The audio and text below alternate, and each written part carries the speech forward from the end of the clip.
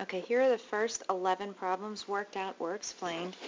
Um, number one wants to know what the formula is for the surface area of the cylinder that they're showing.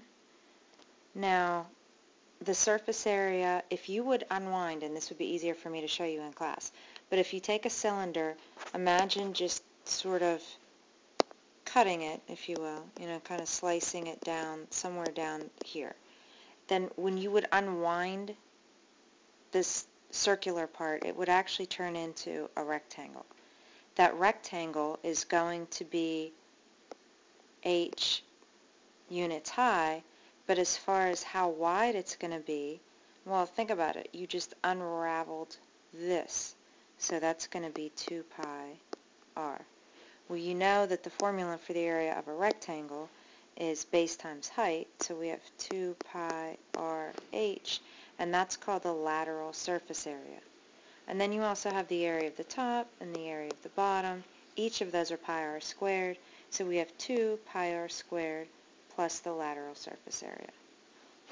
Okay, number two, uh, if this function um, is f, then where is f of x greater than 0?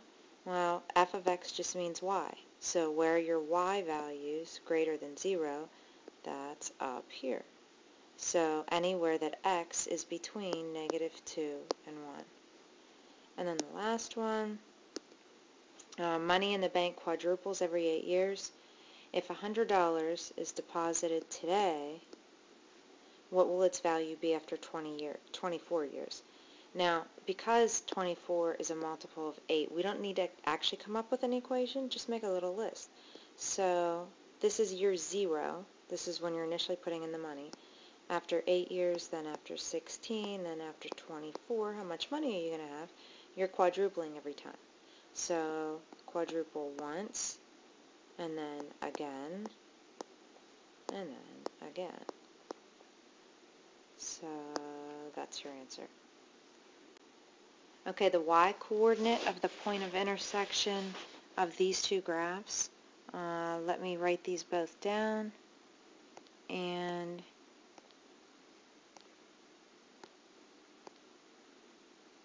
uh,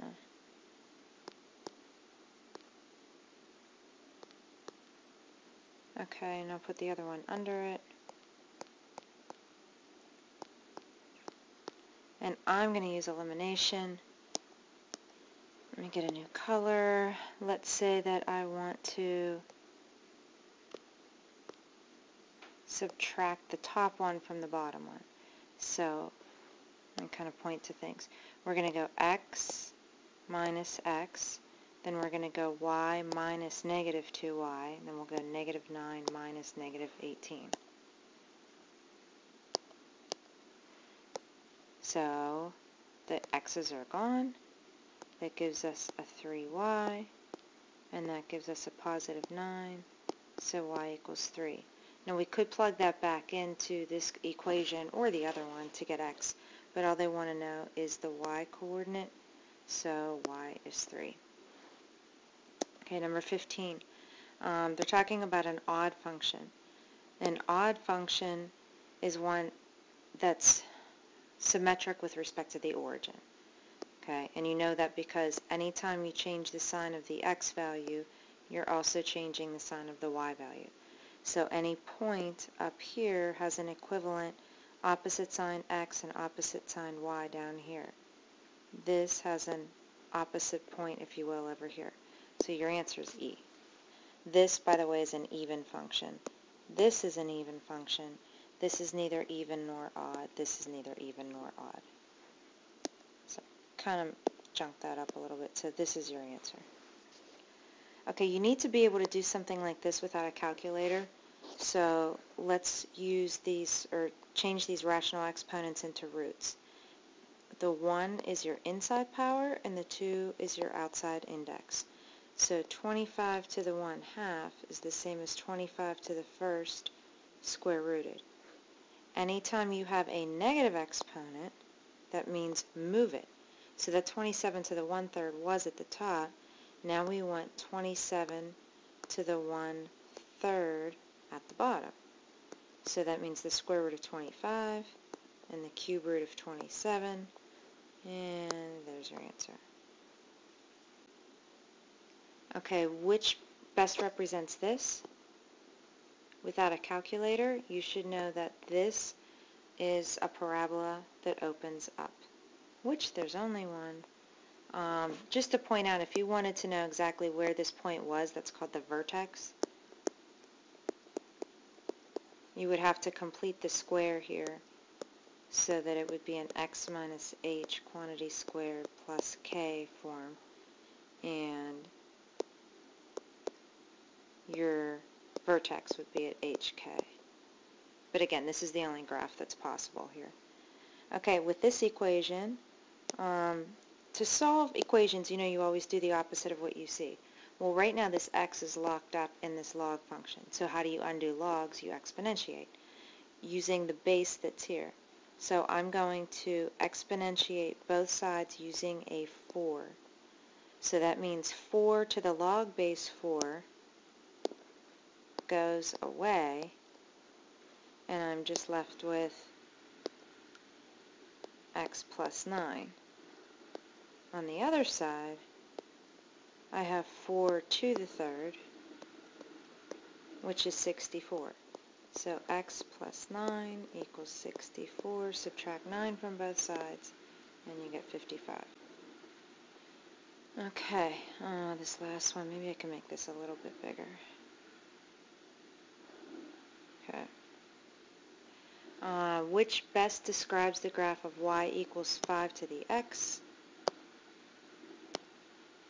Any graph in this form, 5 to the x, that's called exponential. Exponential graphs look like this.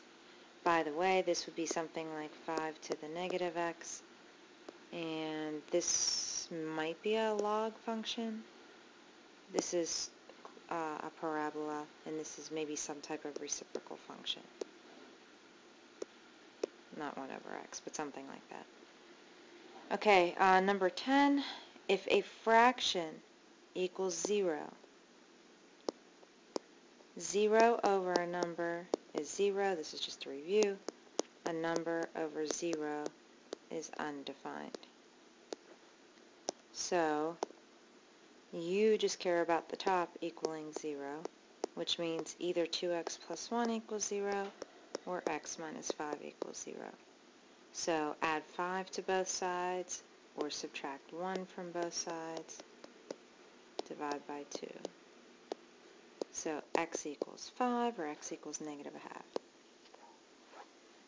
Okay, and number 11, since 3 to the 7th is approximately equal to 2,000, of the following, which best approximates 3 to the 14th?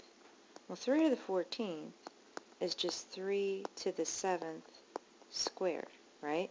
Because when you have a power to a power, you multiply the powers.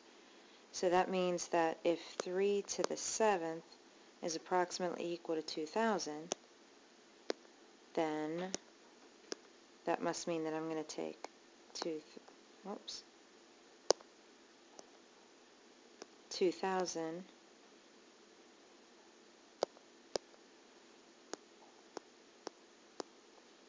which is this, it's approximately 2000, and I'm going to square it. To square this in your head, you square the 2, and to square anything with zeros, so that's three zeros for the one, three zeros for the other. Okay, so it's D.